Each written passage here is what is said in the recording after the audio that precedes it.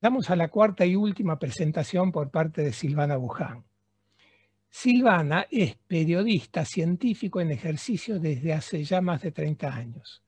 Licenciada en Ciencias de la Comunicación Social, miembro de la Red Argentina de Periodismo Científico, entre otros, Premio Nacional de Periodismo de 2007, tres veces Premio Divulgación Científica de la Universidad de Buenos Aires, primer premio latinoamericano y del Caribe del Agua, Catalac, UNESCO, ocho premios Martín Fierro Radio y así. Pero lo más importante para nosotros es que es miembro fundador y referente de la Asociación Bios Argentina. Nos expondrá sobre uno de los temas que viene trabajando desde hace mucho tiempo, biocidas, ubicuidad en humanos, pero también en la ecosfera, el sueño del control total, la urgencia para la salud de la humanidad. Te escuchamos, Silvana. Bienvenida. Hola a todos, gracias por, por estar en esta, en esta reunión y excelentes las exposiciones. Voy a saltarme prácticamente todas las cosas que se superpongan para que nuestro tiempo alcance bien y voy a compartir la pantalla para poder mostrarle algunas imágenes, a ver si esto funciona bien. Ustedes me dirán, yo voy a pantalla entera. ¿Está todo bien? ¿Se ve perfectamente? Perfecto, Silvana. Bien, bueno, como saben, eh, ya BIOS está presentado desde el principio de, la charla, son nuestros eh, colectivos de pertenencia y el agradecimiento una vez más a IPEN por, por todo el apoyo y, la, ayuda que nos han dado técnica y, organizativa para esto. ¿no? Yo le quise poner a mi, a mi pequeña charla los trípodes del camelo. Es una expresión que utiliza el querido Julio Cortázar en el cuento Conducta a los velorios, ¿no? Porque el camelo es eso que parece bueno pero no lo es, eso que es una suerte de engaño bastante ocultado. Eh, los invito a leer eh, Conducta en los velorios y a entender muy bien de qué se trata el tema del camelo, ¿no? Pero hablamos de camelo porque estamos hablando de todo lo que rodea a estos biocidas que se pueden llamar de muchas maneras y pueden estar denominados de muchas maneras como hoy ya vinimos escuchando, hay muchísimos SIDAs para llamar a estas sustancias que están preparadas para matar. Y dentro de esta charla voy a ir más o menos eh, más o menos por estos tres ejes, que son la imposibilidad del control, la ubicuidad y porque realmente este tema requiere una atención urgente. Estuve leyendo en el chat comentarios de médicas y de participantes en, el, en esta charla y realmente muchas decían esto no se puede parar. Como para entrar nomás en tema, el tema de la venta sin control es un gran mito y es una gran falacia de que estén bajo receta agronómica y todo lo demás. En Argentina la cantidad de regulaciones y de venta realmente bajo una receta agronómica es extremadamente exigua. Eh, uno quiere instalar, por ejemplo, un kiosquito y tiene que hacer una evaluación de impacto ambiental, presentarse ante la autoridad de contralor, registrarse, porque va a poner un kiosco y va a tirar papelitos a la calle en una bolsa de basura. Ahora, uno va a regar un campo con miles de toneladas de venenos tóxicos y no le exigen una evaluación de impacto ambiental ni nada que se le parezca. Puede hacerlo directamente bajo una receta agronómica fantasma. Por otro lado, algo que muy bien queda presentado en el video que Claudio eh, y Graciela presentaron hoy, que es acerca de la tercera dimensión. Los agrónomos eh, trabajan en dos dimensiones, para adelante y para el costado, pero no tienen incorporado el tema de que todas estas sustancias evaporan. Lo vi a Damián Marino en la lista, él trabajó muy bien y lo voy a citar luego sobre la evaporación de todas estas sustancias. También se van para arriba. Y vamos a hablar de la residualidad. Todo esto lo hemos estado escuchando muy bien explicado a través de los expositores anteriores, que es la ubicuidad que hay, y el tema de esta suerte de negacionismo. Hay varios negacionismos, vamos a ir hablando uno por uno. El primero que ya quedó explicado, eh, el, discurso de que no van más allá del alambrado, esos 20 metros, esos 50 metros, esos 100 metros. Eh, cuando hablamos de la información con la cual la gente maneja estos temas, recordemos que estamos hablando de una catástrofe catarata de opiniones que en general derivan de estas mismas empresas que fabrican estos productos y que machacan la cabeza de la gente, especialmente en los periódicos dominicales, con los suplementos de campo, en donde establecen una verdad absoluta de que en realidad estos productos son, como bien lo decían mis compañeros antes, de bajísima toxicidad. Nosotros nos quedamos pensando en un momento con BIOS, allá en el año 2009 y 2010, si acaso no solamente el problema estaba en más allá del alambrado, sino que estaba en el cajón de la verdura y que esta suerte también de negacionismo de que los eh, residuos que quedan en la verdura no existen o son menores. Hicimos el que llamamos operativo espinaca, fuimos con una escribana pública a el mercado distribuidor de frutas y verduras de Mar del Plata, compramos al azar en distintos puestos las mismas verduras, por supuesto con acta, con todo lo que el proceso escritural requiere, eh, con cadena de custodia y precintos numerados, lo llevamos hasta el laboratorio y la resultante de todo esto fue lo que era de esperar en esos vegetales de consumo encontramos eh, dimetoato, eh, clorpirifos, encontramos, el dimetoato fue un poco la estrella de este proceso. Eh, originó esto una denuncia penal. ¿Por qué? Porque Senasa venía avisando de esto a los municipios bonaerenses, a los municipios de toda la Argentina en realidad. Cada tanto Senasa toma muestras, hace los análisis y entrega a las autoridades municipales el acta de constatación en donde el verdulero Pepito tenía un cajón de verdura que estaba con los límites eh, excedidos de determinado producto que no estaba apto para consumo y que había que sancionarlo. Al menos en Mar del Plata, en el municipio de General Pueyrredón, a cada acta del SENASA se le hacía los dos agujeritos que ahí ven y se los ataba con un piolín. Eso era lo único que hacían en la municipalidad, ni siquiera los leían tomamos contacto con un montón de actas que se venían acumulando en una oficina en donde se mostraba cómo la atracina, el clorpirifos, la cipermetrina, el endosulfán aparecían en los resultados que SENASA notificaba al municipio. Es verdaderamente pavoroso porque al final de cada acta decía eh, que era no apta para consumo humano, verdura que por otro lado ya había salido a la venta y se la había comido la gente y que había que instruir al que estaba produciendo la verdura con el uso responsable de agroquímicos, que es un tema que vamos a tratar de desestructurar hoy. Además, los límites permitidos para esas sustancias, N, cualquiera tomemos, en aquel momento, que fue cuando más nos choqueó la situación, y tomamos el endosulfán, que todavía estaba en circulación y bastante, fíjense los límites que teníamos. En Argentina podíamos tener un miligramo por kilo y en Europa en el mismo momento 0,05 miligramos por kilo. O sea, tenemos organismos muy distintos a los europeos y nosotros somos fuertes, argentinos al fin, y nos podríamos bancar este tipo de ataque. La primera eh, respuesta que nos puede sugerir esta situación es que con las buenas prácticas agrícolas todo esto queda resuelto y es realmente una muy mala idea.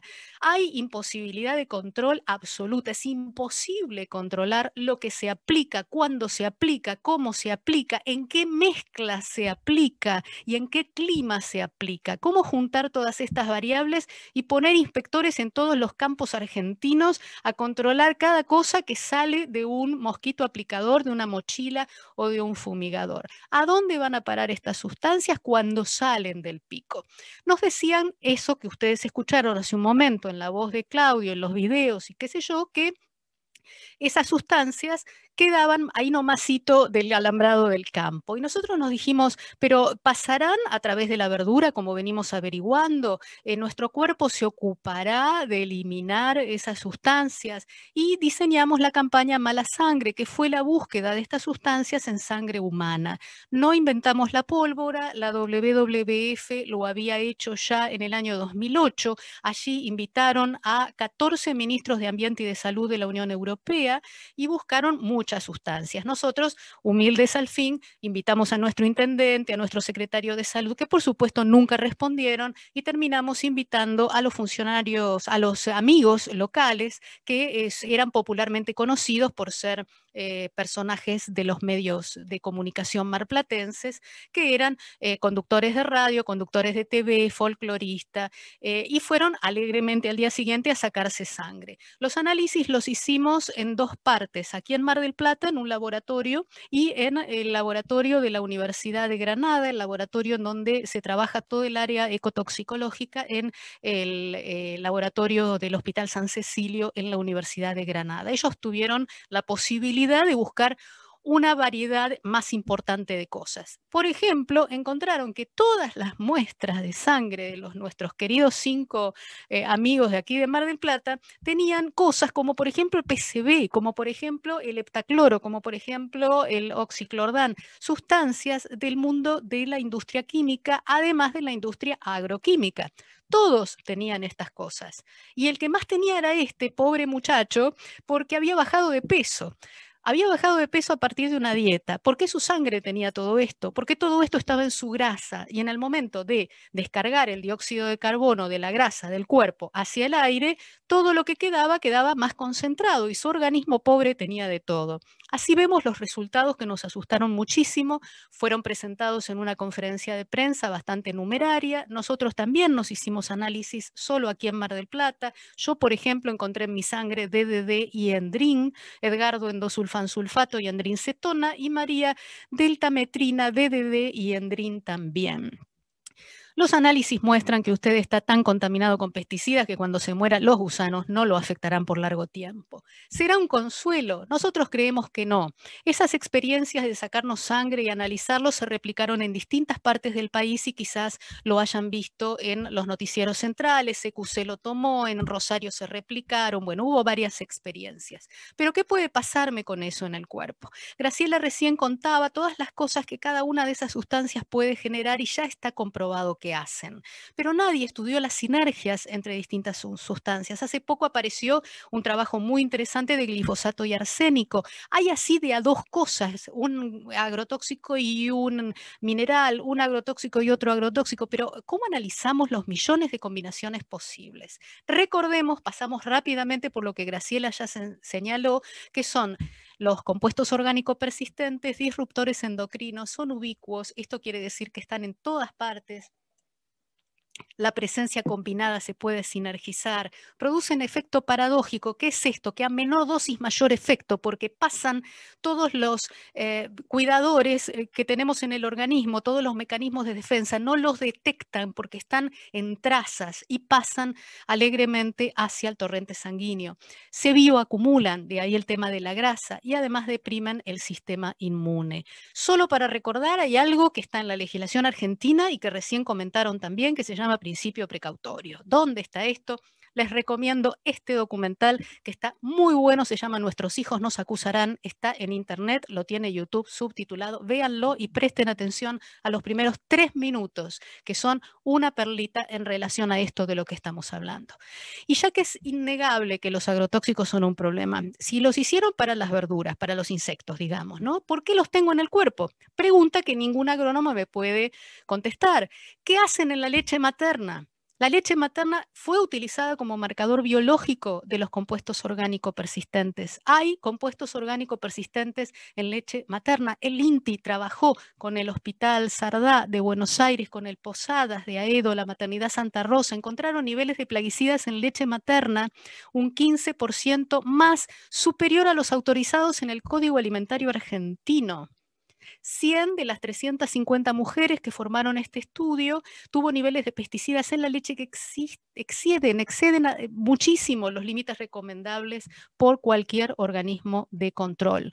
Por otro lado, y acá tenemos este muy buen trabajo sobre contaminantes químicos y lactancia materna, grupos de trabajo de investigación, en este caso la Asociación Española de Pediatría, y agradezco a la Asociación Argentina de Pediatría que nos auspicia en estos encuentros, que han trabajado con eso.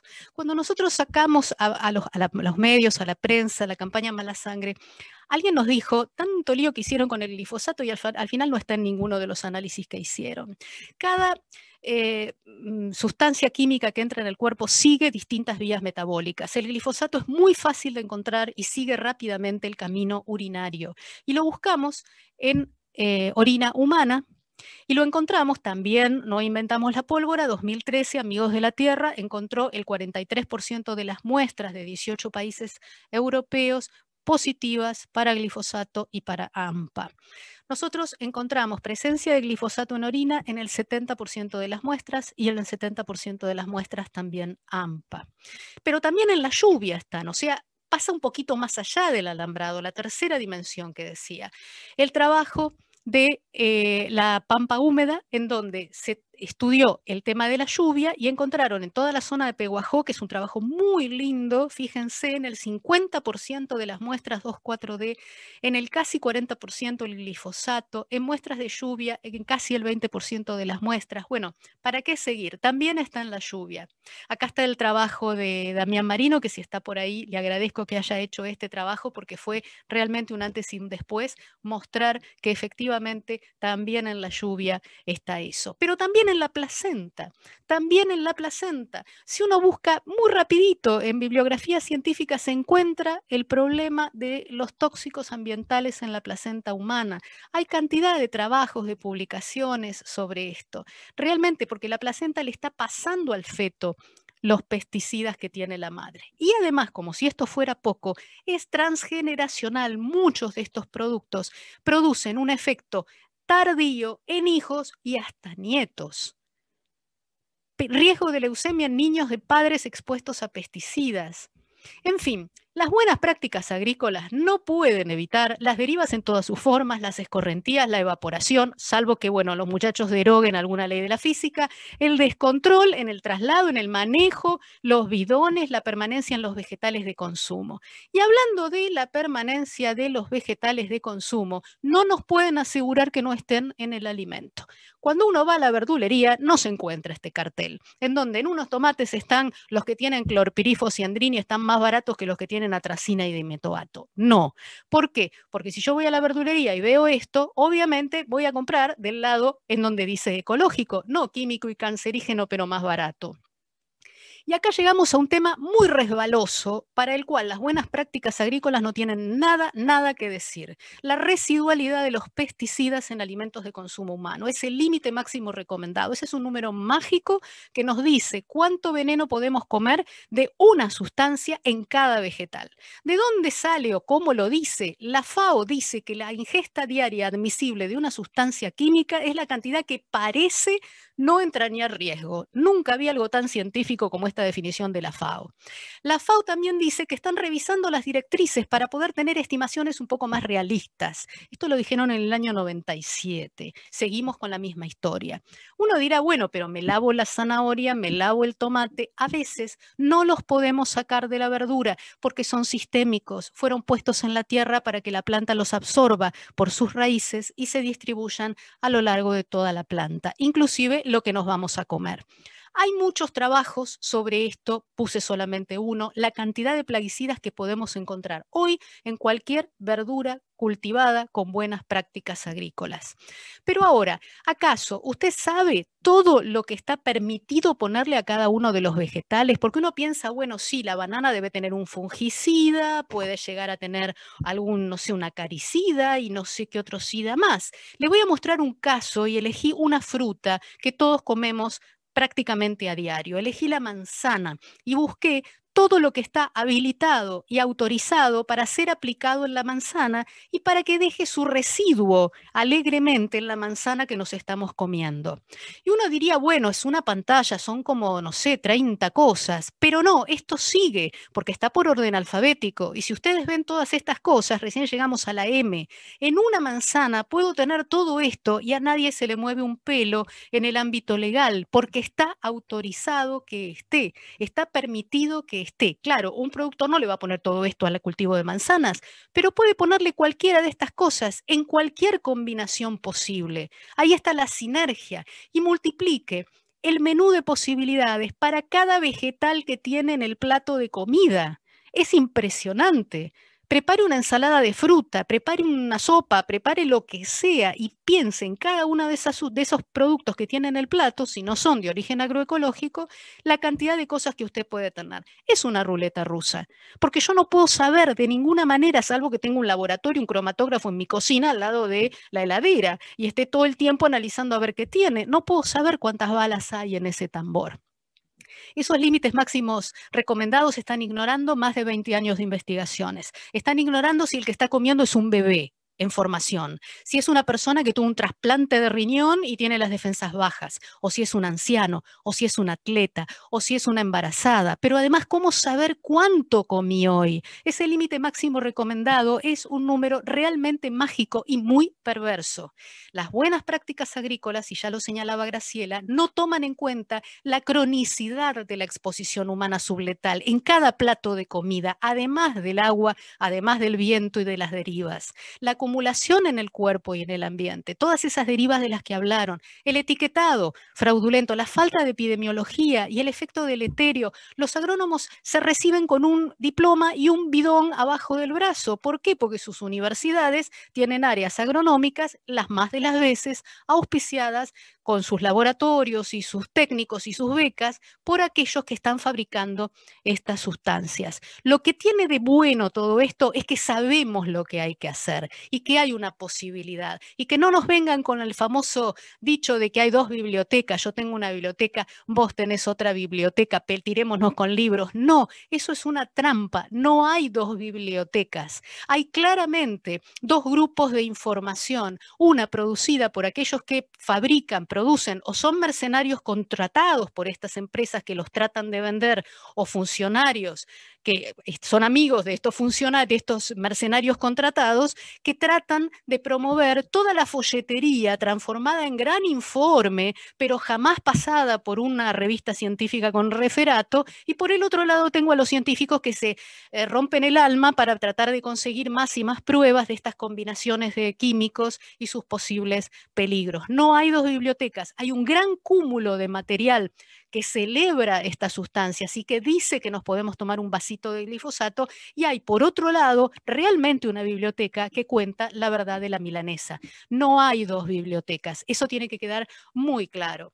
Mario Benedetti dijo una vez, ya ha muerto y lo dijo hace mucho tiempo, pero viene muy bien al caso, que aquí estamos todos, ustedes y nosotros, ante una grieta decididamente profunda, que hay que elegir, hay que elegir de qué lado ponemos el pie, para que no nos pase como este señor en la cama en donde le preguntan qué es peor, si la ignorancia o la indiferencia, y él contesta, no sé ni me importa. Ante estas cosas que van a nuestro plato de comida, al plato de comida de nuestros hijos, no nos podemos quedar callados. Y cada uno desde su espacio tiene que hacer ciudadanía, tiene que conocer, tiene que divulgar, tiene que exigir, tiene que participar, porque podemos cambiar este modelo químico, este impacto es tan grande el que ha tenido que nos puso realmente al borde de un colapso planetario.